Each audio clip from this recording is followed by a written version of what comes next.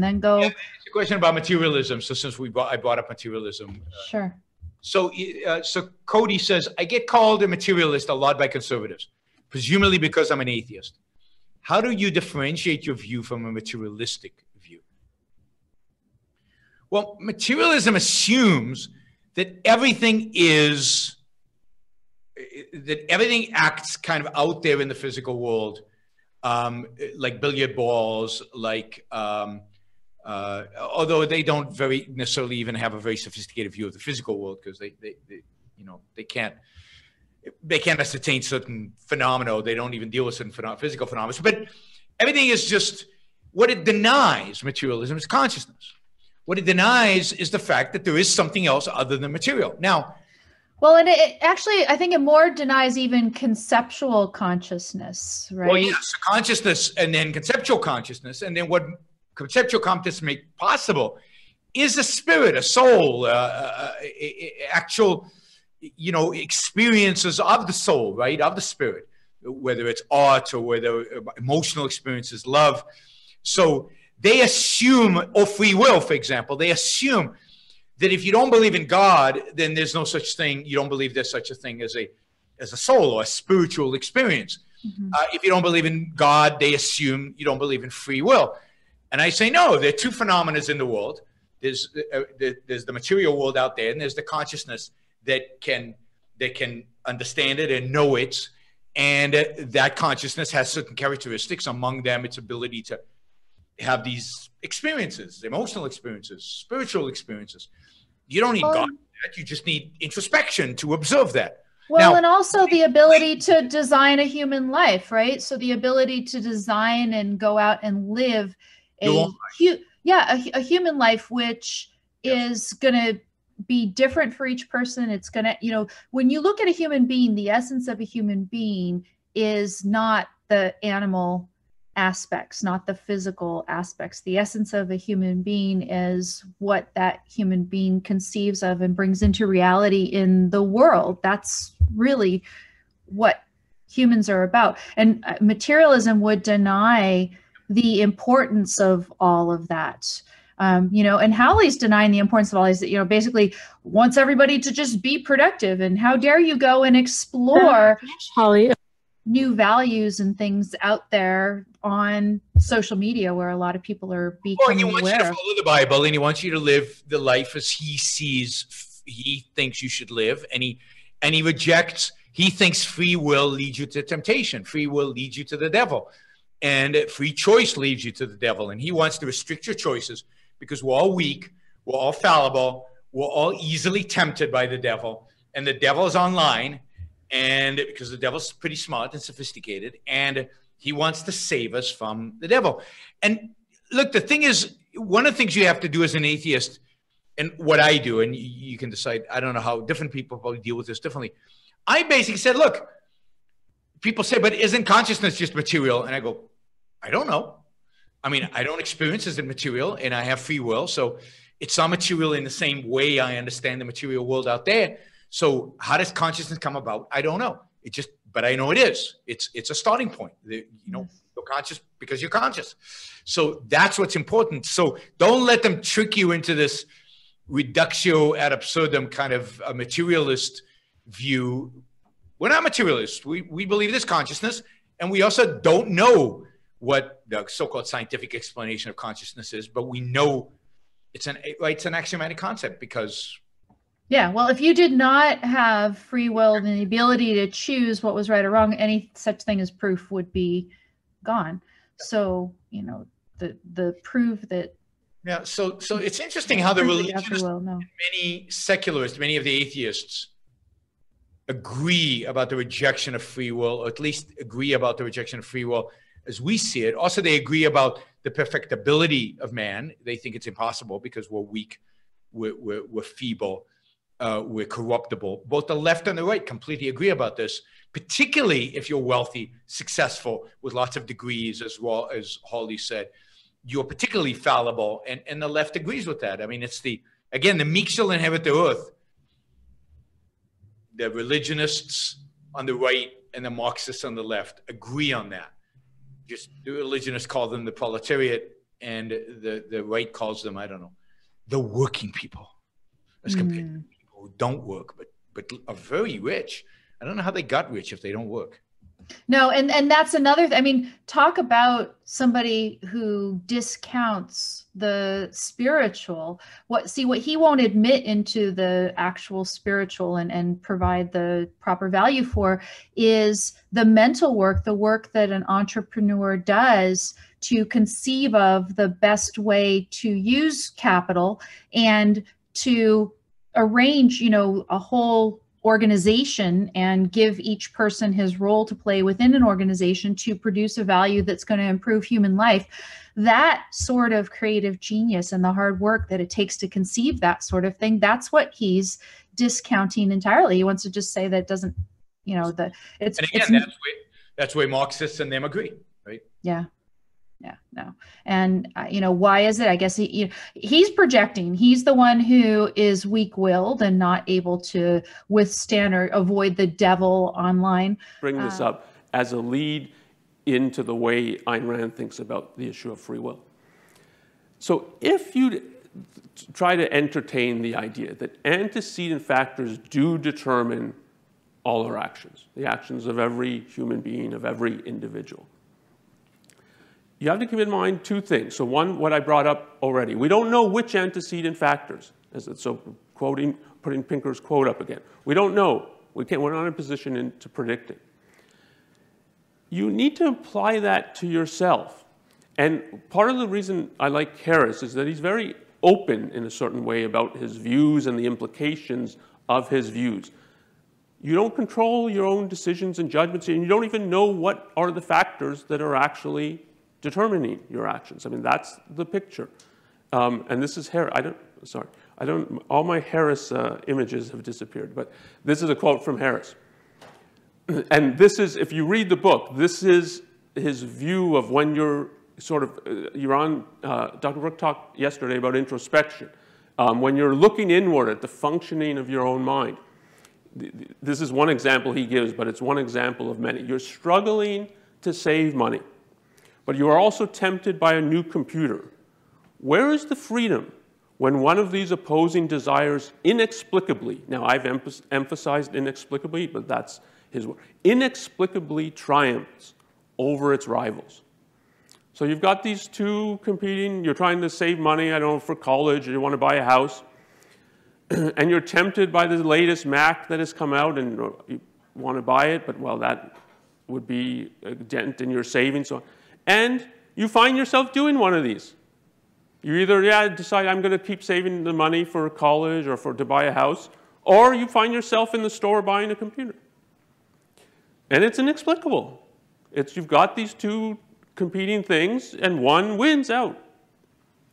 You don't know why. You don't know what factors led to it.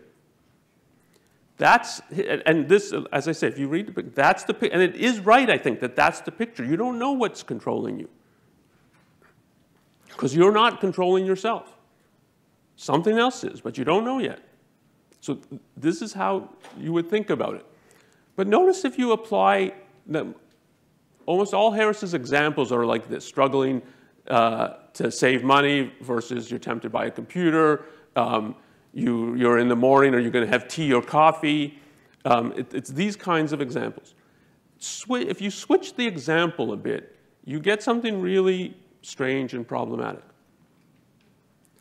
And it's, this is something that Rand pointed out, but she wasn't distinctive or unique in pointing this out. This has been a kind of uh, criticism or question raised about determinism, and you can put, put it as the dilemma of determinism.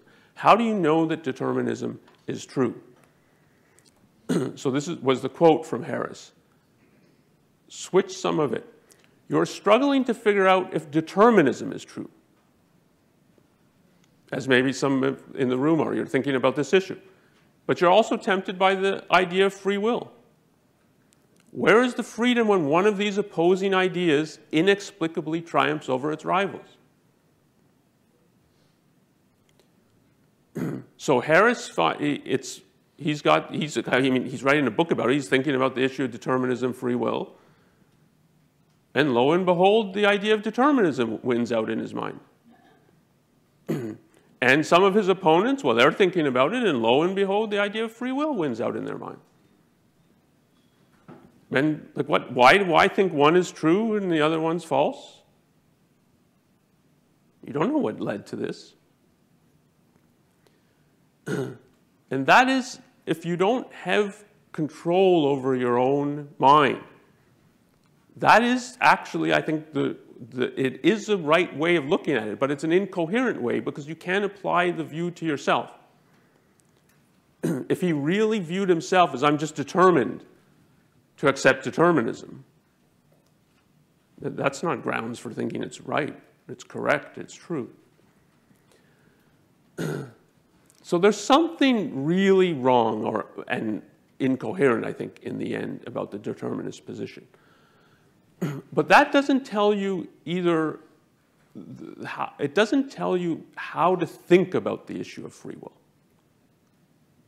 It just tells you there's something incoherent in this position.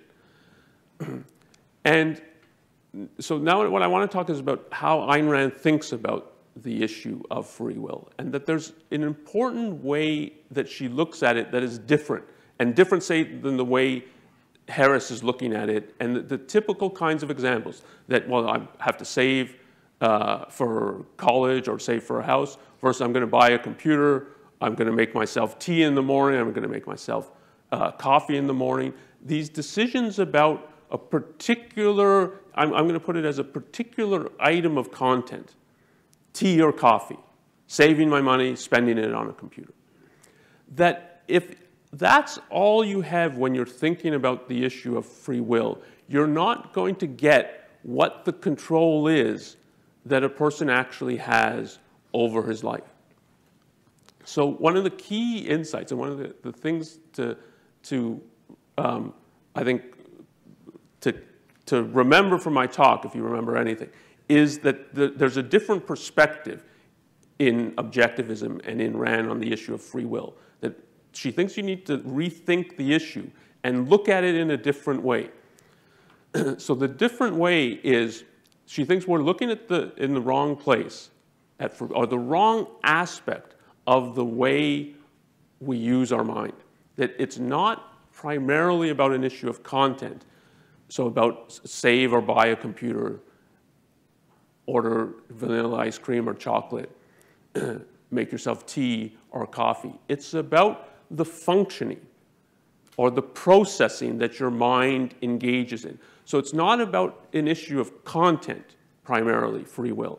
It's about the actions or the processing that your mind engages in or doesn't engage in. that that's what you have basic and fundamental control over.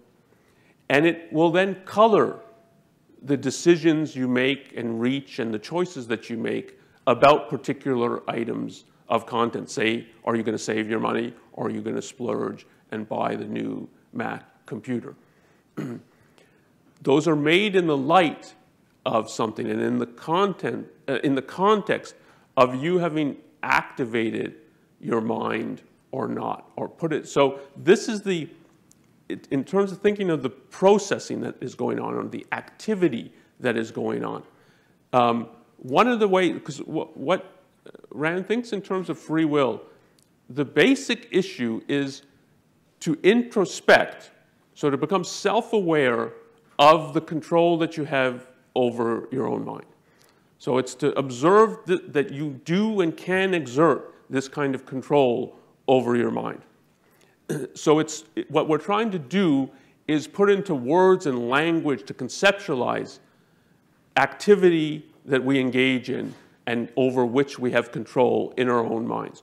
And one of the ways to do that, I think, is because we only have access and awareness, we're self-aware, we have an awareness of our own mind, not of the functioning of other people's minds.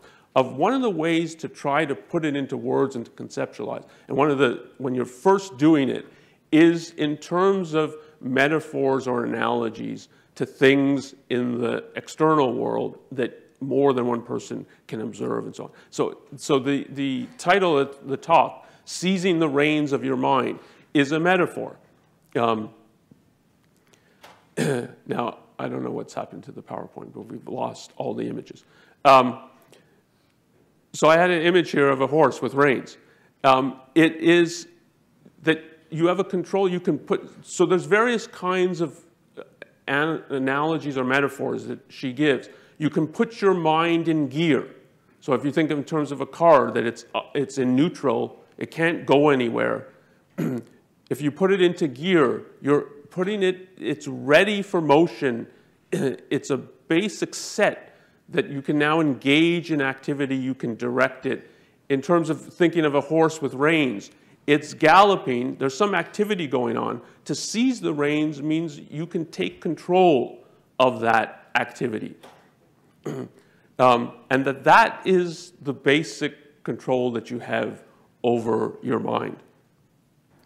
Um, so, so take the, the example of this, to uh, Harris's example. You're going to save for your, let's just put, put it, you're going to save for college or are you going to, spend by a computer, a Mac computer you're tempted on? Rather than it being, well, just one of these desires happens to win out, and I find myself either at the bank depositing my paycheck in the bank, or I find myself at the Mac store buying a computer. And it was like, it's inexplicable. How did one of these won? Maybe next time the other one would win. Who knows what's going Rather than thinking of it like that, what actually happens? What can you introspect? If you're actually making a decision about it, there's all kinds of activity that you're controlling about. So for instance, like why am I trying to save money? Why am I tempted by this computer? Is it that just I like always having the latest gadget, so this is one more thing, and this is exactly why I set a budget, because I know I'm always doing this kind of thing, and I'm never going to save for college if I do that. And you can think about it. And you can assess and think, yeah, this, this is exactly why I set this budget. And yeah, I'm going to not resist that temptation and not buy it. Or it could be, well, like, why am I tempted? Well, I lose, I have a, my current laptop is junk. I spend all kinds of time waiting it for it to boot up and it crashes at various times. it's, it would make a lot of sense for me to buy the computer um, so even though I am trying to save, I've got to, I'm going to try to do it in other areas because this is something that I actually need. There's a reason I feel tempted by it because I actually need this and it's really detrimental to me not to have it. You can engage in that kind of activity, that kind of thinking, that kind of, pro and then it's not inex inexplicable. It's not mysterious why you do one or why you do the other. But it's not, now we're not talking just about the content. We're talking about the activity or the processing that your mind is engaging in in the face of this. and that, Rand thinks, that is under your control. That is what you have choice, and it's the sort of the primary, or it's the locus of choice. That is what you can control.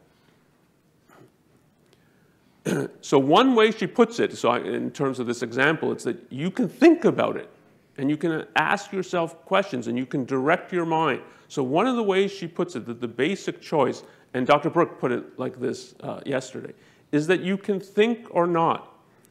but that thinking is a process, it's activity.